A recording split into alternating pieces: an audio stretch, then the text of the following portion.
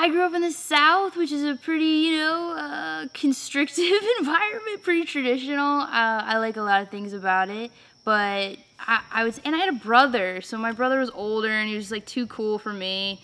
So yeah, I hung out with a lot of treasure trolls and um, imaginary creatures and things. So I work in the volunteer office and I help recruit all the wonderful people that come to stay with us. They're all chasing dreams, probably bizarre ones you may have never heard of. Um, and it kind of makes you feel less absurd or insane when you think, oh, they're doing crazy cool stuff too that no one's ever heard of or that other people might think is dumb. And, and so it's nice to feel uh, amongst other dreamers and imaginative people.